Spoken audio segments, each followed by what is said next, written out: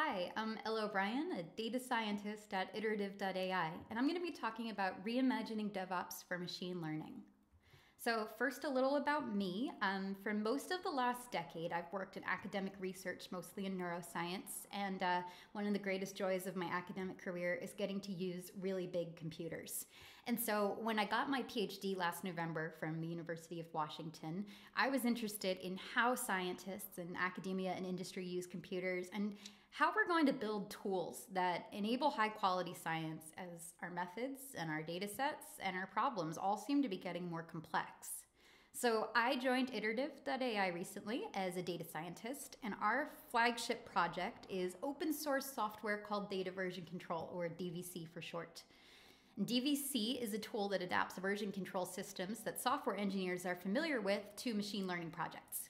So, as an organization, we live at the intersection of data science and DevOps, and that's why I want to share some of the big ideas on our minds right now. So, let's start with a figure from a really strong case study that I love of teams all across Microsoft. It's from 2019. And the authors reported that teams, whether they worked on speech or search or ads, all tended to follow a pretty similar workflow on software projects involving machine learning. Now, of course, there's a whole bunch of folks with different skill sets working on this. We've got data engineers who are collecting, cleaning, and labeling data. Data scientists are engineering features and then training and evaluating models. And software engineers are deploying and monitoring applications that are built around those models. And this is, for the record, an organization staffed entirely by baby animals. I just think that's what the world needs. Anyway, all this is fine if the project proceeds linearly, passing off from data engineer to scientist to engineer like a relay race. But that is rarely what happens. So we know that machine learning models rely on feedback. And that means that software engineers and data scientists might have to pass several modeling experiments back and forth. Data scientists need to be able to anticipate the system constraints of software engineers who are going to deploy their models. And everybody needs to know exactly where the data came from. And all this back and forth gets very confusing very quickly. And it's reasonable, you know, because machine learning is a new part of software engineering workflows, and it isn't always easy to incorporate. But software engineering isn't new as a discipline, and we can learn a lot from the field's evolution. Specifically, DevOps has had some success bringing together developers and operations specialists, and so that's reason to hope that engineers and data scientists can find ways to work together too. Now, one of the big ideas from DevOps, which has really changed the way that multidisciplinary teams run, is continuous integration and continuous delivery, which I'll abbreviate CI CD. And CI CD is a practice that establishes collaboration rules between developers and operations specialists. So let's take a look at what that means. Um, the big idea is that when you make a change in source code, a build happens automatically, and then some tests get run on that build. And if the build passes tests, then the modified source code becomes a candidate to be merged back into the main branch of a project. Um, and if you fail, then you'll iterate again. And the idea is that every action, like a git commit, triggers feedback, and every round of feedback produces a release candidate. So let's look at what's different when machine learning becomes part of the workflow. So now it doesn't just matter if you change your uh, source code, also changing your training data set is going to have big ramifications for your results. So you've got to track changes in the data set. Now, instead of building software in the traditional sense, we're training models, and training models often has specialized hardware requirements like GPUs. Now, on our train model, we're not just you know running unit tests or more traditional forms of software testing. Um, we're evaluating a model, and sometimes it's ambiguous whether or not a model has gotten better. So if we look at a bunch of metrics, you know, after um, our model is trained, it might have improved on accuracy, but at the expense of making more false positives. And if that's acceptable or not, often requires some domain knowledge from someone like a data scientist.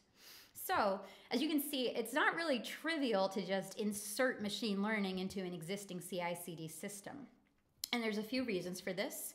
One is that version control uh, can't always track changes in data sets. A lot of data sets are simply too large to be tracked by traditional version control systems. Uh, and training models is not like building software. The hardware requirements can be really particular. Finally, evaluating metrics is more complicated than looking at you know, a list of tests and seeing if we've passed or failed. So what's going to be needed is that we'll have to build tools that extend CI/CD practices from the discipline of software engineering to machine learning. And this is something that we're thinking about a lot as we continue to develop DVC. So I'm going to make a wish list of some of the features that we might want if CI/CD is going to work for ML, and it's not exhaustive, but you know these are kind of our top priorities. Uh, we want to be able to version data like code. We want our CI system to be able to allocate whatever hardware may be needed to train models. And we want metrics about model performance to be reported in a human readable format so that data scientists and other team members can efficiently review them, kind of the same way you might review a PR. So obviously, we're not content with just a wish list, and we have been building some of these priorities into DVC. So first, DVC extends Git version control to datasets, and that means that you can track dataset changes in addition to source code changes in your CI/CD system.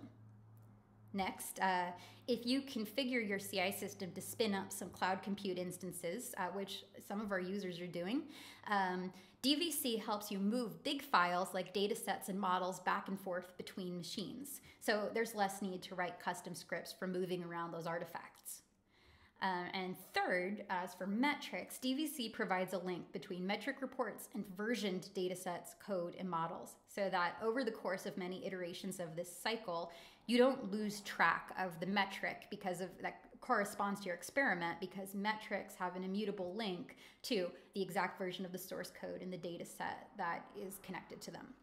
And an ongoing area of research is how to display these metric reports in a way that data scientists can use in a CI CD workflow.